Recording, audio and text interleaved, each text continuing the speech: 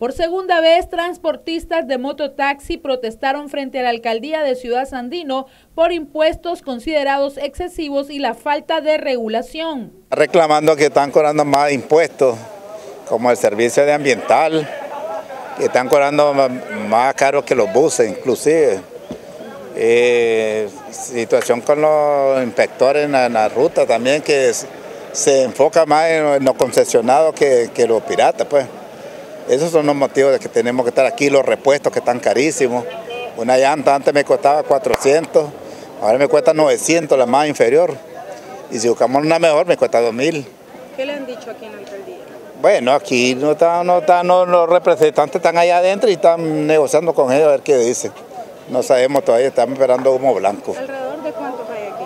Andamos como 100 motos de aquí, estamos detenidos ahorita y como una 30 triciclos y, y unos 20 taxis estamos, estamos más o menos. Esta es la primera vez que protesta porque vemos nosotros que siempre han estado protestando. No, es la, es la, segunda vez, de, de, hablamos del mes de octubre a esta parte. Bueno, nosotros estamos enfocados en la alcaldía porque nosotros estamos aquí en el municipio, no salimos afuera. Sí, el que no está cobrando y no sabemos si, si la, ordenanza viene de arriba o solamente sea de aquí.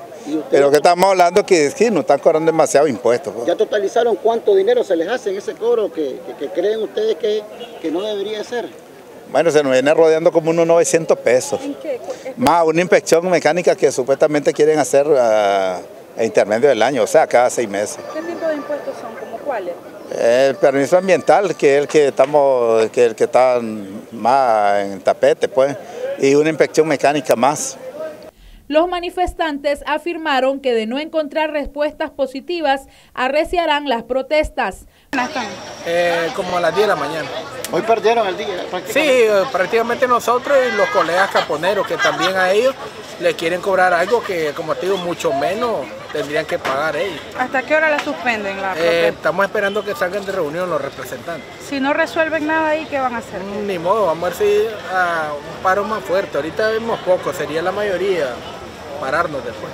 Con la situación económica que está, ¿a ustedes les afecta todo estos impuestos? Sí, porque la situación no está buena y estar pagando mal, prácticamente te están quitando lo que puedes invertir en algo en tu casa. Para Noticias 12, Castalia Zapata.